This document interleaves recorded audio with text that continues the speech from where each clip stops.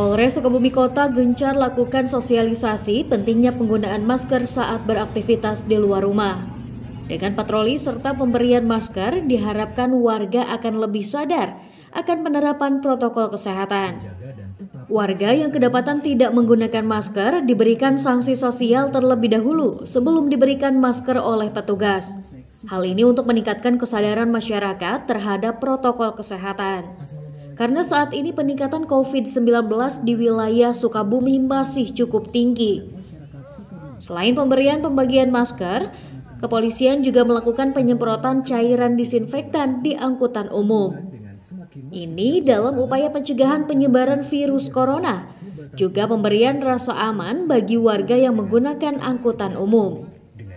Kapolres Sukabumi Kota AKBP Sumarni mengingatkan kepada para supir agar patuhi peraturan dan mengurangi penumpang hanya 50% saja dan penggunaan masker saat beraktivitas. Kegiatan ini bisa eh, menjaga kesehatan masyarakat sehingga masyarakat merasa aman dan nyaman berkendara menggunakan alat transportasi umum.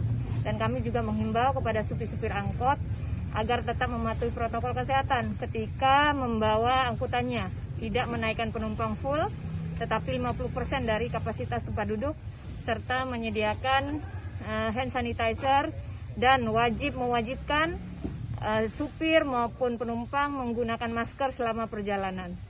Semoga kegiatan isi ini bisa menekan penyebaran COVID-19 di wilayah hukum Polres Komi Kota.